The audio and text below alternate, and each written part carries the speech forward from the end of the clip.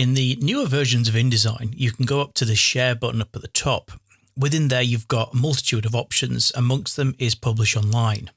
Clicking on that would start the process of uploading your InDesign document up to Adobe's server and turning it into a publish online interactive publication. Now, if you're working in an older version of InDesign, you can head across to the File menu and go down to Publish Online.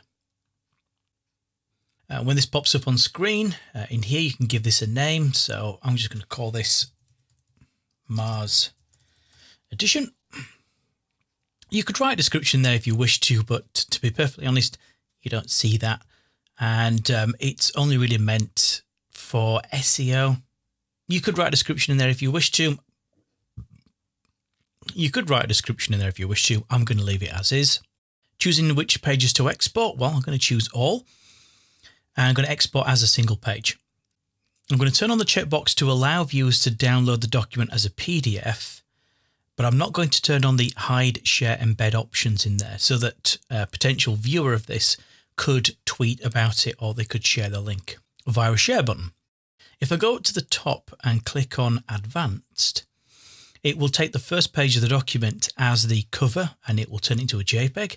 If you wish to, you could pick a different page or you could even have a ready prepared piece of artwork for that. Down at the bottom here, well, this is really all about the quality of the pixel-based content. So uh, the standard is, as you can see here, 96 pixels per inch, which is fit for most screen displays. If you were wanting to cater for those high dip, uh, high resolution DPI screens, then you could choose 144 ppi.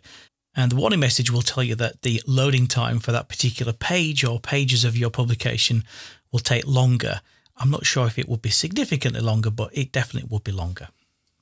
I'm going to leave mine set to 144. Image quality for the JPEG set to high is going to be absolutely fine. Um, and I'll leave the GIF options as they are inside of there.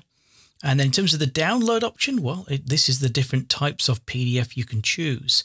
Um, if you want someone to be able to print it out and you are happy with that, then I would tend to suggest high quality print will be absolutely fine or just a low screen quality you could go for smallest file size. Uh, in my case, I'm going to go for smallest file size and then I'm going to click on publish. And there we go. From here, you could copy the URL, which tends to be fairly lengthy. Um, it's not exactly a catchy URL. And then you could choose to share on any one of these media platforms or um, uh, share via an email. There's a link to Publish Online dashboard. I will show you that after this video. Um, but from here, then I could click on View Document.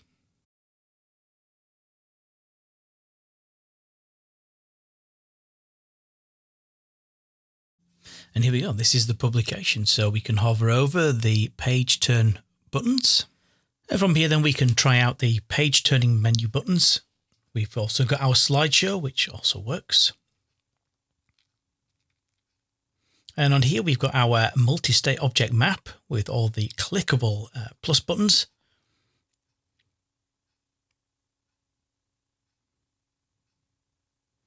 And our caption as well, which is uh, using the show and hide button feature. And finally to the interactive page that contains the video and the audio, which we can play, we can restart, we can pause, down at the bottom, we have a menu that allows you to see a rather nice animated table of contents. So you can jump from one page to another just by viewing and clicking on those. You can zoom in and you can click and hold down the left mouse button to pan around the page in there and scrutinize it in more detail. And of course, you can click on the zoom out button as well. Going full screen mode, also nice touch as well to clear everything else out of the way. And you can exit with the same button by clicking on it you can download a PDF. Now, one thing to bear in mind is that it will not include the interactive elements such as the slideshows, the page turn buttons. So that is a major drawback.